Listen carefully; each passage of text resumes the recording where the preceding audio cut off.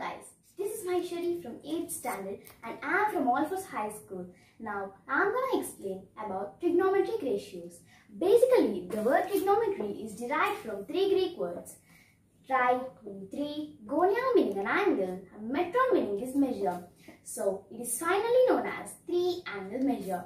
The basic task of trigonometry is the solution of triangles, finding unknown quantities of a triangle from given values of other quantity. So, ratios, first we need to know about an angle. So, what is an angle? The amount of rotation made by the moving ray with reference to the fixed ray is known as an angle. Here, let us consider this as a moving ray and this as a fixed ray.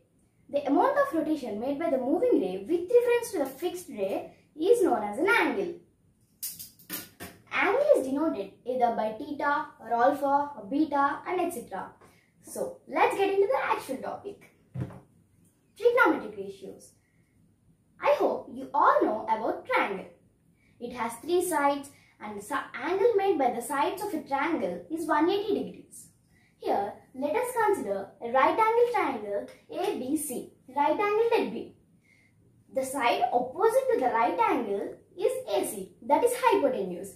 The hypotenuse is the longest side of a triangle. Let us consider angle theta. The side opposite to the angle theta is AB and the side adjacent to the angle theta is BC. Here, AB is equals to X, BC is equals to Y and AC is equals to R that is hypotenuse. Okay, so let's learn about trigonometric ratios. Opposite side by hypotenuse that is x by r. We call it as SIN is sin theta or SIN theta sin theta. Adjacent side by hypotenuse that is y by r. This ratio we call it as cosine theta or cos theta. Opposite side by adjacent that is equals to x by y. This ratio we call it, we call it as tangent theta or tan theta. Adjacent side by opposite side that is equals to y by x. This ratio we call it as cotangent theta or cot theta. Hypotenuse by adjacent. This is r by y. This ratio we call it as secant theta or sec theta.